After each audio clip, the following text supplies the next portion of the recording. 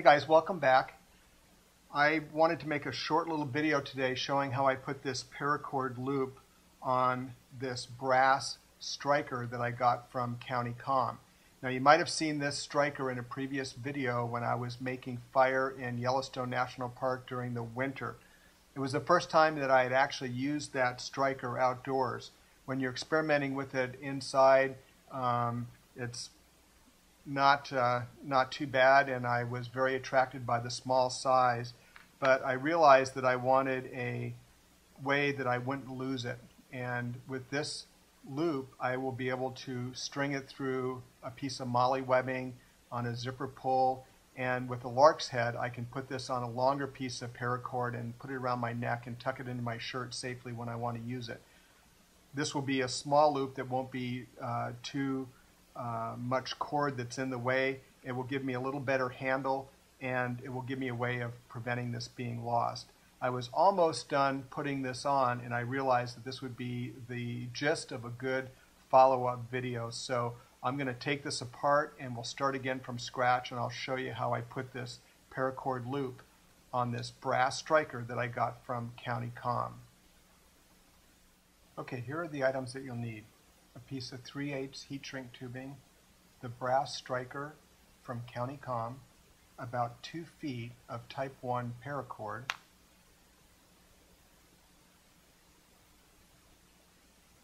You can also use any type rated nylon such as Mason's line that you can get at a local hardware store or building supply. And this is about 8 or 9 inches of 550 cord that is stripped of its inner core. So the process is going to be to put the paracord along the shaft of the striker and I'll be lining it up with the side flats of this top part and that'll allow me access to the small brass screw in the end where I can replace the flint as needed. On top of that we will do a whipping wrap with the type 1 paracord and then to finish it off we'll slide a piece of heat shrink tubing on and we're good to go. Let's quickly go over how the whipping part works.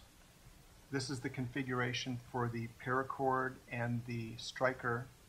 On top of that, I'm going to take another piece of paracord type 1, make a small loop at one end, and I'll place that on top. I'll then start wrapping backwards, and the free end will go through this loop, and then by pulling both ends, we'll make a nice tight wrap on the shaft. As a quick little trick to make it easier.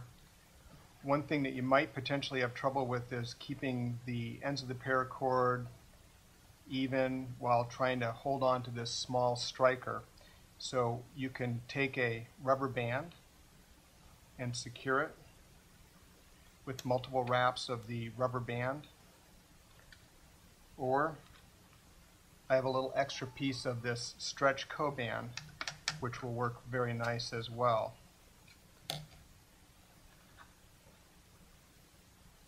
So I'm going to just leave a little extra hanging off the end and not to worry about that because you will um, pull and adjust everything at the very end. So just stretch and wrap that Coban right around there.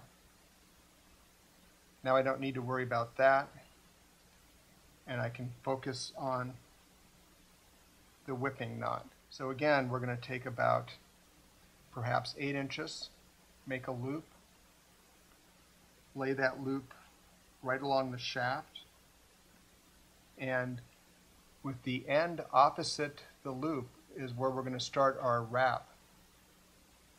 So I'm going to just start a nice tight wrap and just keep everything nice and even.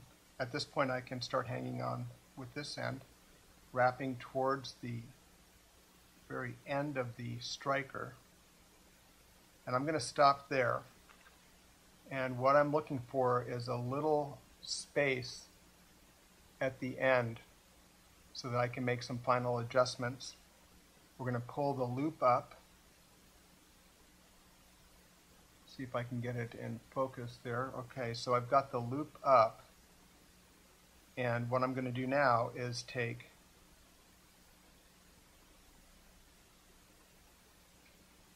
the end and thread it through that loop.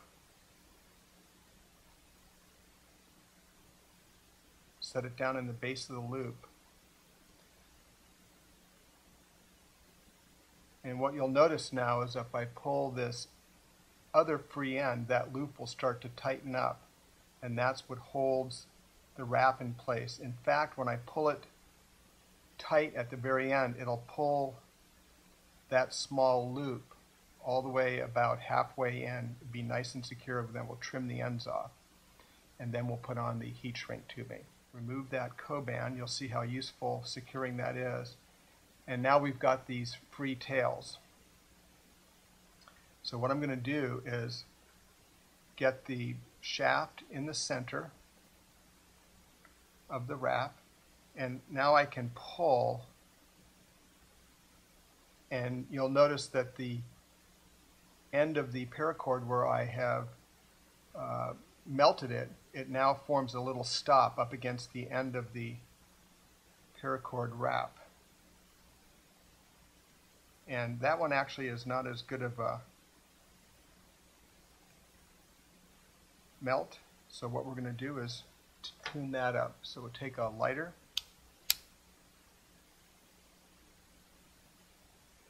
get it melted quick little, and we're good. So now I'm going to pull that tight. The free ends will keep that from sliding free. Now what I'm going to do is pull that loop. See if I can get it underneath by pulling tight.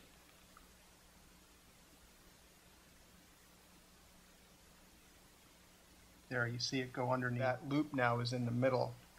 Now I'm going to apply real firm pull to both sides and that tightens that loop up quite nicely. We'll do a final adjustment of these ends. And now we can cut the type 1 paracord free.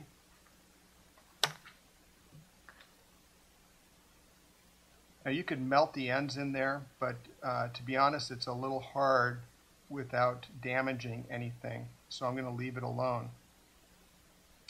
And there we're, we're pretty much done. And you can see this gives me access to the end so I can change out the flint. And now I've got a nice little toggle so I won't lose this tool. And to finish it off, we're going to put a little dressing of heat shrink tubing right on top there. So I'm going to measure that heat shrink tubing. And I'm going to go basically from the end of that brass flat to the end of that brass flat and we will trim it off.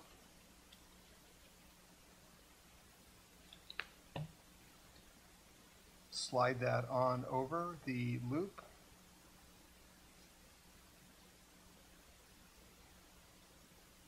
Get it adjusted. Make sure that I like that length and I think that'll work very nicely.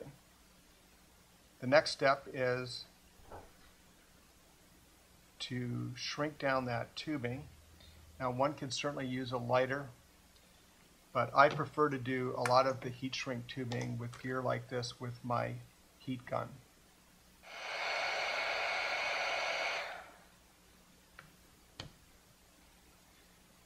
And there you have it. That's a nice little modification to the County-Comm brass striker. All right, we're going to actually do this without the inner core. So we'll get rid of those strands. And now basically we're just going to make a loop. And one quick little knot to do that is a little partial clove hitch at one end, or an overhand knot. Just like that. So this one now runs freely through there. I'll pull that tight and trim that off. And we'll just heat seal that.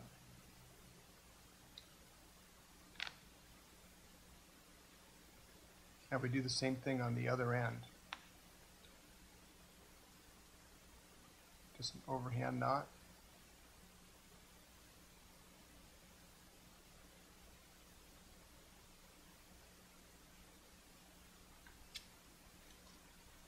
Pull it tight. Trim the end. Seal that end. And now all you do is you pull these two tight and you've got a nice low profile knot and we've made a necklace essentially. Now the way you use this with this loop is you just put the two loops together run the longer loop over the device, in this case the brass striker, just like that. Now you can hang this around your neck, tuck that in your shirt, and it's secured. Tip for securing paracord on your spools, put a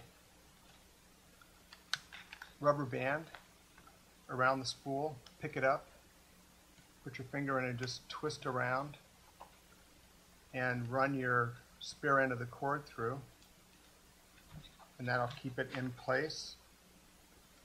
Another quick little tip. You can do the same thing with just the next wrap on the spool is to pick it up, put a twist in it, just like that, run the cord through, pull it tight, and it's secured on your spool. That is the modification to the CountyComm brass striker. Some future videos coming up. This is a nice little piece of gear, do it yourself, has a lot of uses. And we'll also go over making tether cords or dummy cords for gear. Now this is not a flashlight, it's actually a video camera and I have this dummy cord on there so that it can be tethered to something secure so it doesn't fall off and get damaged during certain applications.